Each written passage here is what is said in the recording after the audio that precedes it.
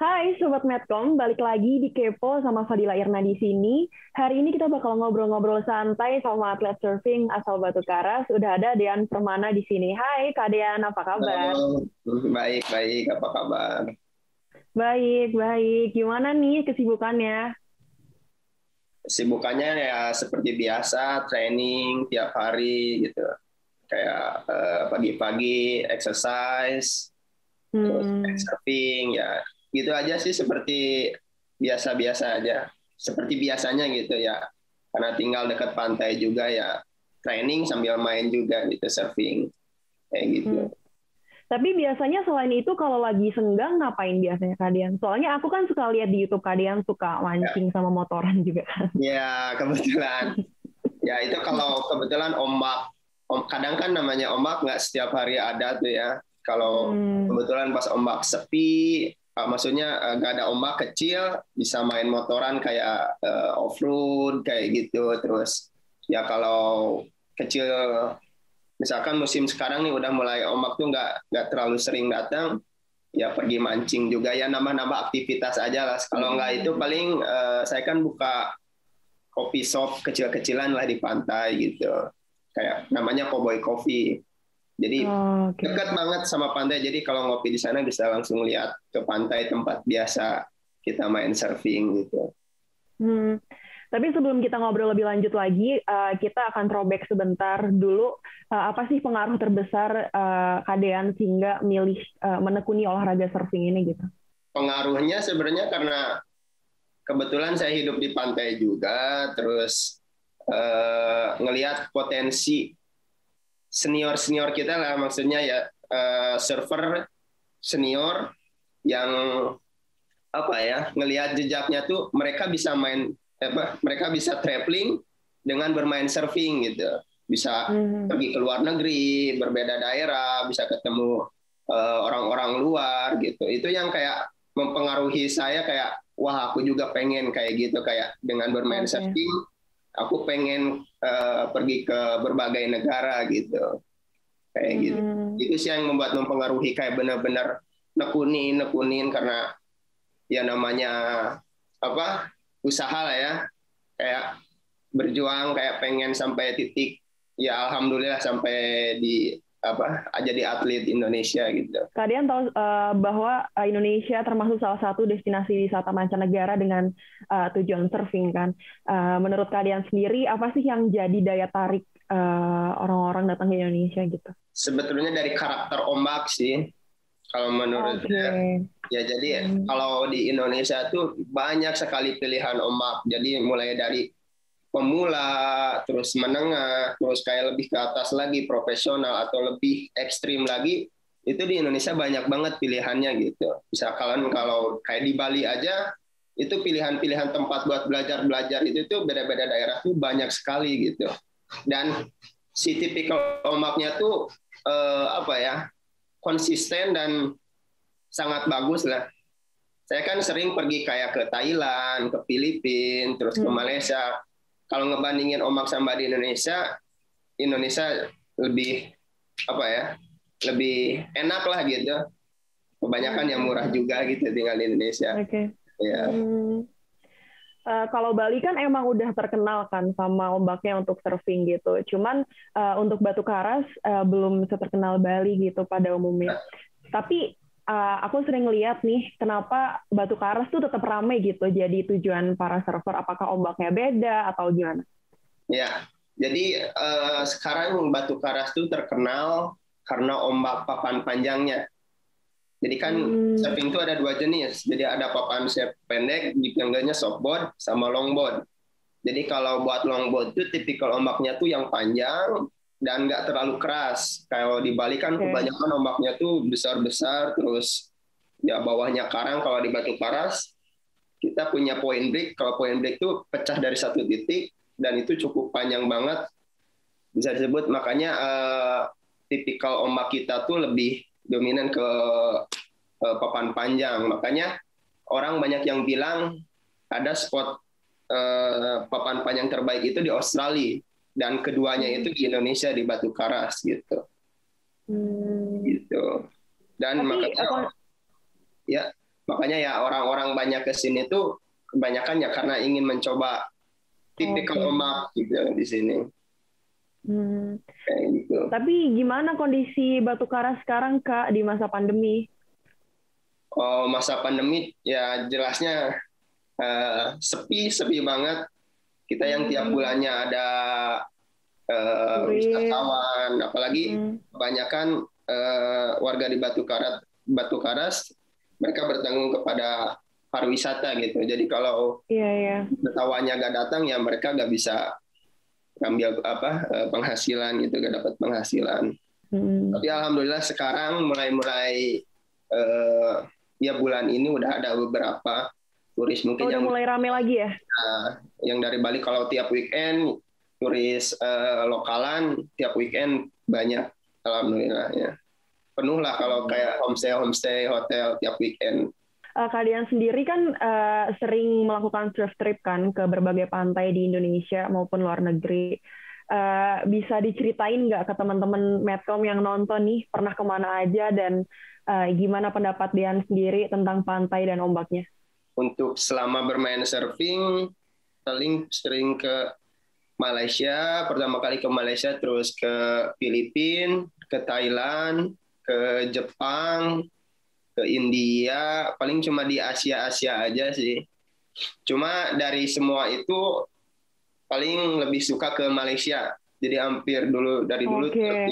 ya dari dari tahun 2016 tuh sampai sebelum pandemi itu tiap tahun ke Malaysia Oke. Ya, jadi kebetulan ada kompetisi juga, tapi kayak extend lebih lama lagi gitu.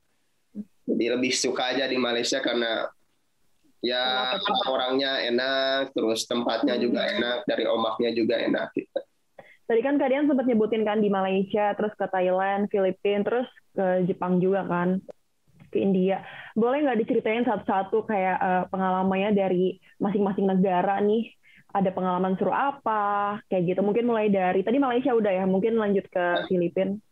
Saya udah tiga kali mungkin ke Filipina, cuma yang paling berkesan tuh yang kemarin pas SEA Games.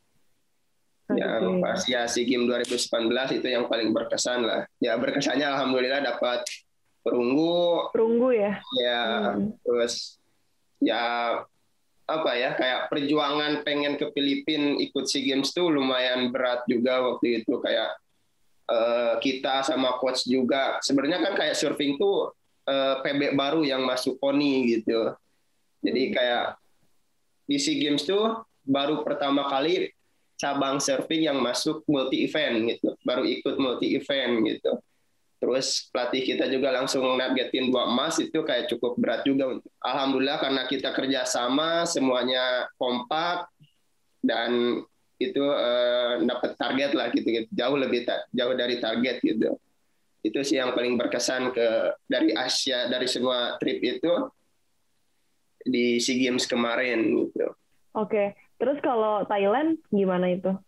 Kalau Thailand ya Kompetisi sama ikut kompetisi juga, cuma karena karakter ombak Thailand kurang apa ya, eh beda lah jauh kalau sama dari Indonesia Hmm. gitu, tipikal ombaknya tuh angin terus gak karuan, tapi karena pergi ke sana juga buat kompetisi, jadi eh, ya mau gak mau harus ikut gitu. Tapi buat Hmm. tempat kayak semua anak-anak surfing apa surfer di sana tuh enak-enak, hampir semua Hmm.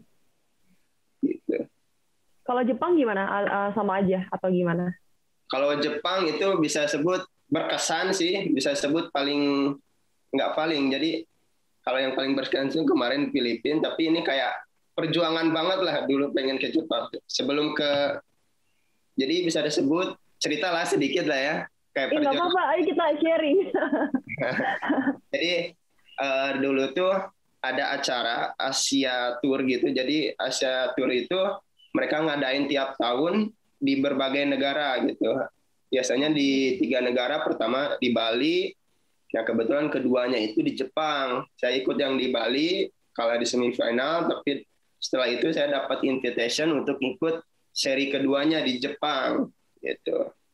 Dan saya coba ngobrol ke sponsor saya buat uh, bisa ngirimin ke sana dan dibantu sama dia cuma tapi buat tiket aja gitu tiket okay. ke Jepang jadi buat akomodasi hotel kayak gitu-gitu aku harus sendiri, sendiri iya itu hmm. sempat bingung waktu itu namanya Jepang kan tahu-tahu tuh apa mahal gitu kan semua yeah, mahal yeah, yeah, yeah, yeah. terus uh, aku yang maksudnya waktu itu belum terlalu sering juga pergi keluar gimana cara ngambil uang gitu terus gimana hmm. kalau nyasar kayak gitu gitu tapi kayak dalam hati itu pengen banget gitu pengen banget ke Jepang pengen tahu aja uh, pengen yang ngebuktiin juga gitu bahwa aku bisa gitu terus hmm. sampai apa uh, udah mentok lah gitu bingung gak dapat dana.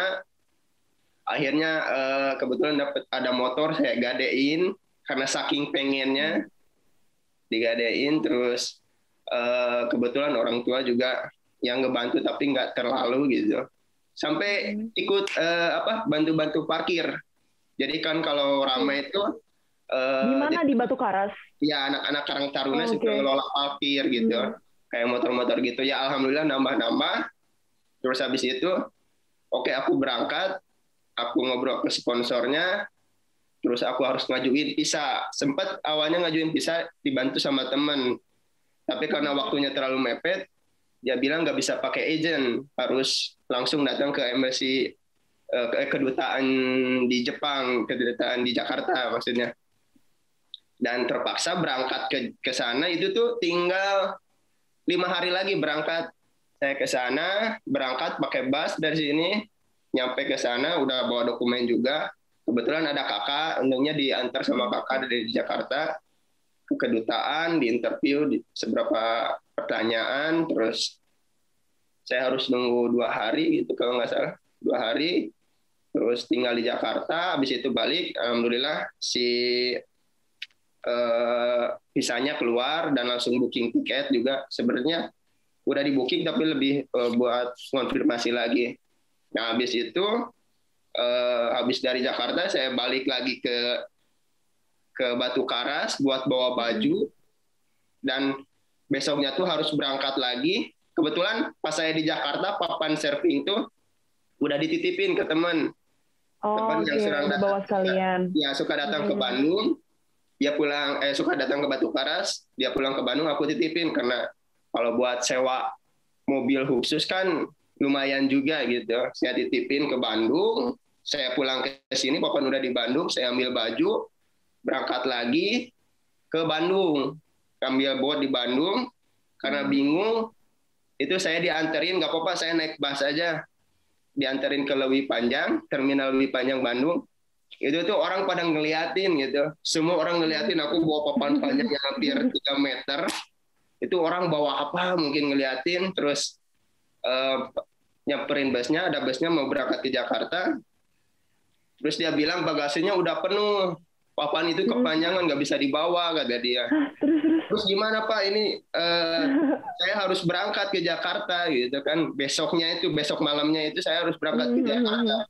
Saya liatin tiketnya itu.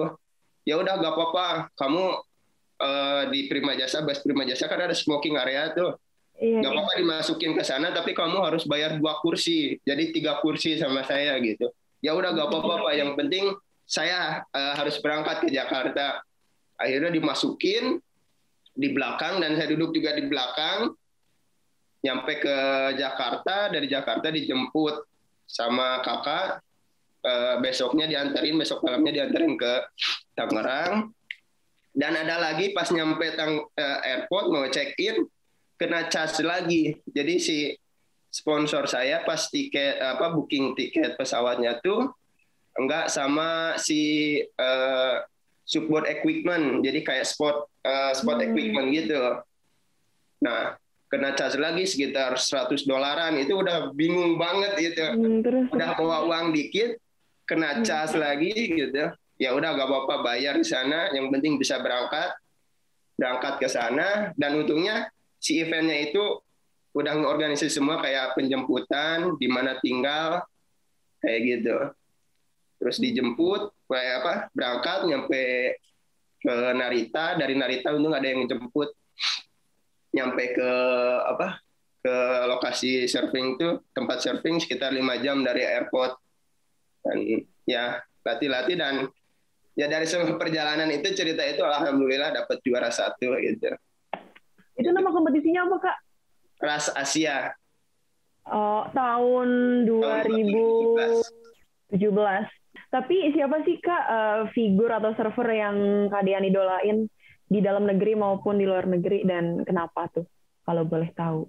Kalau di dalam negeri kebetulan ya senior saya sendiri namanya Kang Husni. Jadi saya disebut dia yang lebih apa ya ngemotivasi kita untuk bermain uh, papan surfing panjang gitu. Dia bilang karena kalian mau ngapain sih main papan pendek di sini? Orang-orang dari luar ke sini itu karena pengen main papan panjang gitu kalian di sini malah makin main apa main papan pendek coba main papan panjang karena di Indonesia juga kan nggak terlalu banyak orang bermain papan panjang gitu ya. Terus dia bilang juga kayak cari sponsor tuh lebih apa lebih gampang gitu kayak okay, uh, eh, okay. ya pada intinya tempat kita tuh emang buat papan panjang gitu. Kalian cobalah berlatih berlatih gitu. Terus habis itu ya saya coba coba coba. Kebetulan ada sebenarnya banyak sih kayak pemain papan panjang dari batu keras yang udah uh, bermancanegara gitu. Maksudnya pergi keluar keluar ikut kompetisi yaitu hmm. salah satunya Kang Husni itu senior terus ada Denny Blackboy juga terus ada Arif Mencos gitu Nah kan uh, Dean sendiri pernah ngelatih surfing kan di Bali dan ya. sekarang ya uh, ngelatih surfing di Batu Karas gitu. Tapi uh, persiapan apa aja sih yang harus dilakukan kalau pengen surfing gitu, khususnya untuk pemula?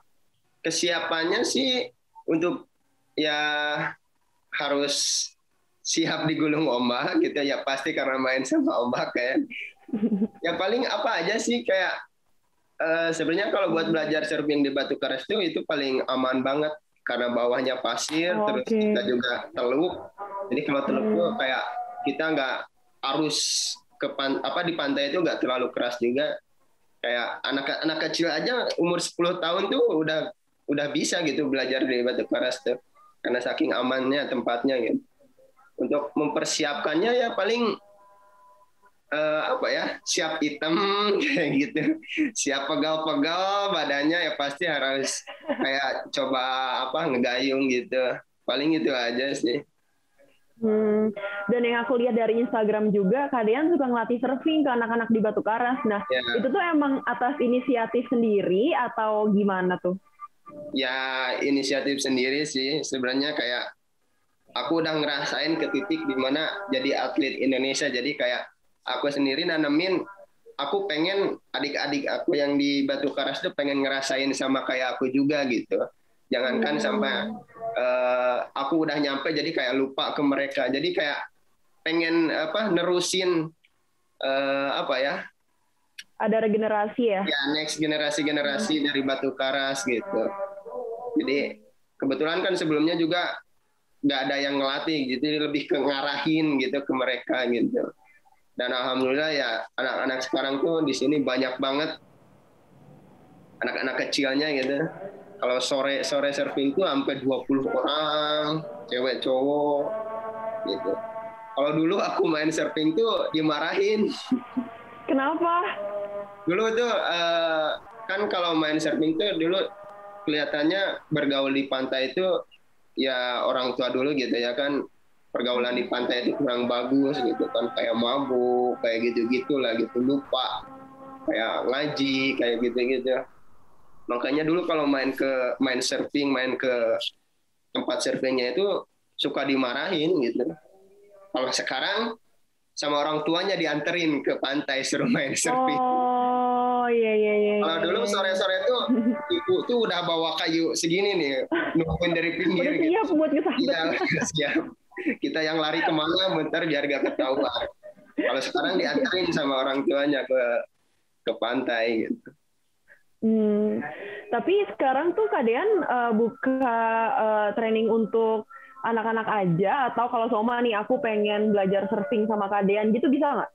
Bisa kebetulan saya buka surfing lesson gitu namanya si hmm. hang five jadi lebih ngatur uh, hang five ya hang five namanya hang five jadi uh, siapa yang mau belajar kayak buat beginner hmm. atau pertengahan atau buat belajar kayak jalan-jalan gitu kan di ya kayak sendiri saya sendiri lah gitu hmm. kalau main surfing jalan ke depan gitu kayak gitu ada terus kebetulan sama sekarang juga ngelatih uh, tim Cina lewat uh, online online kayak gini. Jadi mereka uh, krunya itu timnya itu videoin nanti kita review bareng-bareng apa yang salah gitu.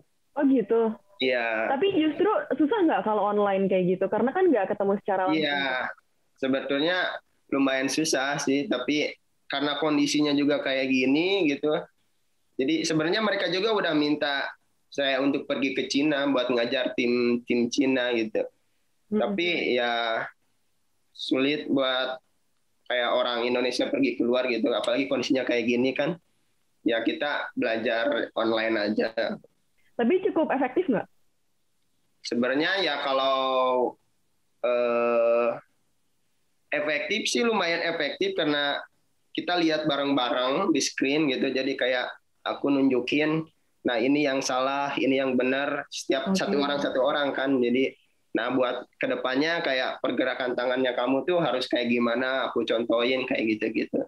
Jadi mereka lebih ke nulis sendiri, jadi apa yang harus dibetulin. Nah, nanti uh, season selanjutnya kita lihat bareng-bareng apakah dia udah ngebetulin uh, pergerakan badannya atau pergerakan tangannya kayak gitu. Jadi bisa kelihatan gitu. Hmm. Ya sebenarnya lebih bagusnya sih langsung gitu.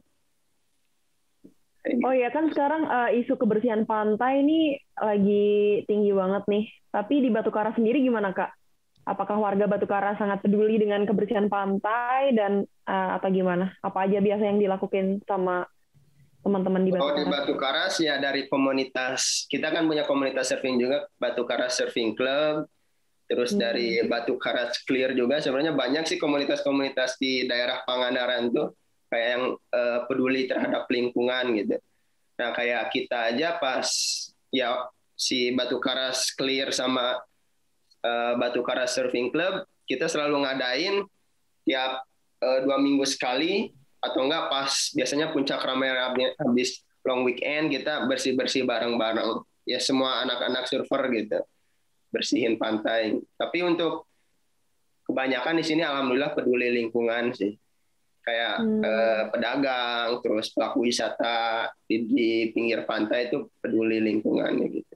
Kita balik lagi ke perhelatan SEA Games tahun 2019 ya tadi. Iya, 2019. Tahun 2019 di Filipina. Waktu itu ada berapa orang Kak yang jalan yang mewakili Indonesia? Uh, totalnya dari papan panjang aja longboard saya sama teman saya untuk cowoknya satu cewek dan untuk pemain softboardnya itu dua cowok sama dua cewek.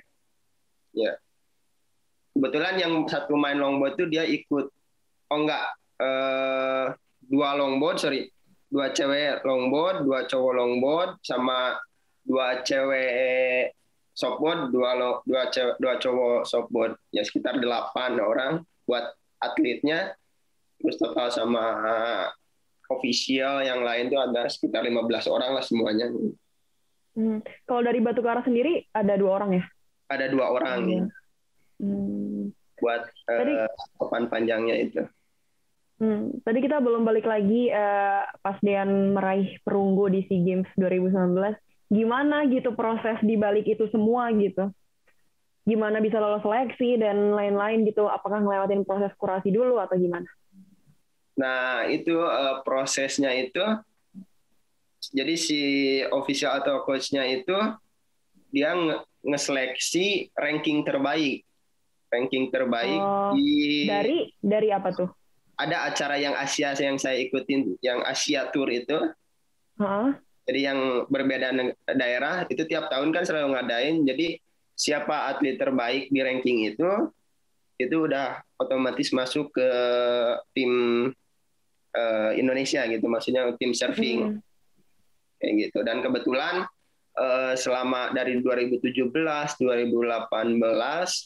sampai terakhir kemarin 2019 saya menduduki posisi kedua se Asia gitu untuk ranking. Jadi dari overall ranking tiap tahunnya posisi kedua selalu kalah sama ada orang dari Filipina, kalau nggak Jepang, Jepang gitu. Tapi berarti untuk di Indonesia uh, ranking pertama gitu untuk Nah, Kak, uh, aku kan sebagai orang awam suka takut nih ke beberapa pantai karena ngelihat ombak yang tinggi, terus kayak ngelihat binatang-binatang laut gitu. Belum lagi karangnya yang tajam-tajam kan. Nah, yeah. kalau kalian sendiri ada momen-momen gak sih yang sekiranya bikin kapok nih kayak gue surfing lagi gitu? Kalau kapok sih enggak ya, namanya kayak hmm. uh, udah dari kecil mungkin ya kayak terus suka adrenalin juga, jadi kayak uh, pas kita nyobain something different gitu kayak nyoba hal baru kayak misalkan dari ombak uh, kita beda tempat gitu otomatis kan karakter ombaknya itu udah beda lagi. Apalagi ada yang bawahnya karang terus dia yang lebih gede. Jadi kayak ada tantangan sendiri gitu. Kayak pengen hmm, naklukin okay. ombak itu. Ya kalau buat kecelakaan kayak gitu itu pasti ada lah gitu namanya kita nyobain nggak langsung pasti bisa gitu kadang dari pertama nyoba tuh jatuh kena karang terus kaki sobek atau ininya apa kayak kebentur papan oh, kayak gitu, gitu. Okay. tapi kayak dari itu kita tahu gimana cara ngehandle si ombak itu gitu jadi biar okay. ya apa ya lebih ngasih pelajaran lah ke kita oh buat mm -mm. selanjutnya ngambilnya harus dari mana dari mana biar bisa berdiri terus naklukin si itu ombak gitu kayak gitu. Kalau buat kecelakaan kayak gitu lah sering lah pasti kayak diucap hmm. berapa lama di dalam air kayak gitu kena karang terus kebentur lain-lain sering lah pasti. Uh, uh, pendapat kalian sendiri, uh, apakah olahraga surfing nih di Indonesia tuh punya masa depan yang bagus apa gimana?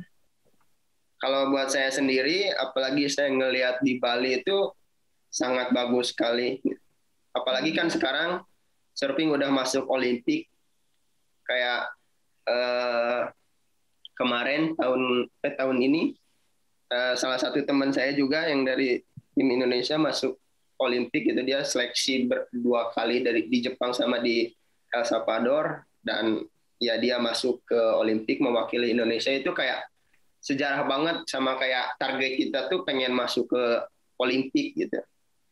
Nah makanya kayak sekarang uh, arah surfing itu udah jelas gitu. Ada apa ya? Bisa disebut ya bisa ngelihat kayak kemarin di SEA Games tuh kita dapat perunggu, kita dapat bonus gitu. Terus pas ikut jadi tim nasional tuh kayak gaji, terus pola makan kayak gitu itu tuh udah jelas. Jadi sekarang kayak itu tujuan-tujuan anak-anak kecil sekarang gitu. Kayak orang tuanya pun mereka ngejurusnya ke sana pengen jadi atlet, pengen jadi atlet gitu buat jadi hmm. pemain surfing kayak gitu. Tapi sejauh ini dukungan pemerintah terhadap olahraga surfing ini gimana kak? Karena kan oh. ini jarang kan, karena kan yang orang tahu olahraga bulu tangkis, sepak ya. bola, yeah. berenang gitu. Dukungan pemerintah sendiri gimana? Kalau sekarang sekarang sangat bagus karena kemarin hmm. awalnya dari kita dapat target gitu pas di SEA Games, terus kemarin hmm. udah masuk Olimpik, jadi cabang yang masuk Olimpik itu udah benar-benar cabang elit gitu. Jadi kayak cabang yang diunggulkan. Sekarang perhatian pemerintah tuh cukup bagus, sangat bagus malahan kayak yang pertama aja pas uh, pertama pelatnas itu pertama kali pelatnas 2019 yang buat ke Filipina itu tuh budget buat kayak tinggal terus beli papan apa perlengkapan kayak gitu tuh minim banget jadi kayak okay. uh, eh, pemerintah ngasih kesempatan nih, lu gue kasih kesempatan gitu, lu bisa nggak? Gitu. Nah, setelah itu kita dapat target, kita ngebuktiin ke pemerintah bahwa surfing bisa. Nah setelah pas hmm. tahun kemarin pelatnas kita di, dicukupi banget kayak vitamin kayak gitu-gitu tuh di dikasih kayak kalian mau apa tinggal ngobrol gitu. Kalian mau apa tinggal bilang kayak pengecekan dari pemerintah kayak gitu ngelihat ngetinjau langsung itu hampir tiap minggu ada gitu jadi kayak kita alhamdulillah sekarang diperhatikan sama pemerintah gitu hmm. Kayak gitu. Tapi uh, dari kacamata kadean sendiri nih ngelihat potensi atlet-atlet muda khususnya dari Batu Karas tuh kayak gimana sekarang? Kalau sekarang ada beberapa tapi nggak terlalu apa ya. Sekarang karena uh, cabang surfing kayak papan panjang tuh udah masuk di multi event. Kayak orang-orang di Bali juga mereka udah mulai apa belajar belajar nggak mau hmm. kalah juga gitu. Buat di Batu Karas ada beberapa maksudnya yang bisa bersaing lah gitu buat eh, tahap selanjutnya gitu. Setelah kita udah agak main lagi mungkin mereka bisa nggantiin ada beberapa. Nah dengan adanya Persatuan Selancar Ombak Indonesia atau PSOI itu sebagai wadah yang menaungi warga surfing apa sih yang kalian harapin? Ya yang saya harapin sebenarnya tetap solid terus kayak uh, lebih kompak lagi gitu. Kayak uh, eh, PSOI itu kan ada di berbagai daerah gitu. Kayak selain sekarang kan di PSOI Jawa Barat terus buat yang di luar sana kayak PSOI PSI NTT kayak gitu. Kayak makin gemetuk lagi atlet-atletnya gitu. Nah kayak sekarang kan ada seri surfing seri yang harus diwajib apa ini dari pusat yang harus dilakukan di PSOI PSOI di daerah untuk mendidik kayak eh, apa ya kayak semacam kompetisi. Jadi kayak pelatihan gitu itu wajib dilakukan di berbagai daerah. Kebetulan di Batu Karas juga kita ngelakuin. Itu totalnya tuh ada lima seri. Nanti ranking terbaik dikirim ke ke Bali untuk ikut kualifikasi di Bali. Jadi tujuannya itu bagus sekali buat kayak mengasah anak-anak di daerah-daerahnya masing-masing gitu buat lebih semangat lagi. Jadi ya pada intinya pengen tetap semangat, semoga semakin banyak lagi atlet-atlet dari Indonesia gitu. Amin amin. Terakhir nih, uh, setelah usai pandemi, ada rencana nggak untuk ikut perhelatan surfing lainnya gitu yang mewakili Indonesia mungkin atau mewakili uh, atlet dari Batu Karas? Ya, Nah, kebetulan kemarin uh, kita udah sempat hubungan sama coach sama official. Dia bilang uh, semoga eventnya gak ditutup tahun depan kita harus mulai pelatnas lagi buat Asian Games Asian Games di Cina. Hmm. jadi uh, tahun 2000 ya tahun depan tahun depan tahun depan kita udah harus pelatihan lagi. Nah dia bilang semoga kondisinya membaik. Ya kalau kayak tahun kemarin kita tahun 2018 kita pelatnas buat Asian Beach Game di Cina. Nah, karena apa kondisinya tuh COVID-nya makin itu si eventnya juga di diundur. Makanya kita gak, gak jadi bertanding kita pulang. Nah, terus kemarin ada bilang si official sama coachnya tuh kalian harus siap-siap tahun depan kemungkinan ada pelatnas lagi buat Asian Games-nya. Yang kemarin kan di Indonesia, nah, nah tahun itu tuh di Cina.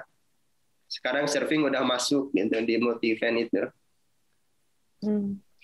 Oke deh, kalau kayak gitu, terima kasih banyak Kadean atas waktunya. Semoga atlet-atlet surfing di Indonesia akan semakin mendapatkan wadah untuk uh, apa ya, lebih maju, mungkin lebih diperhatikan lagi oleh pemerintah. Terima kasih banyak, Kadean. Sehat selalu.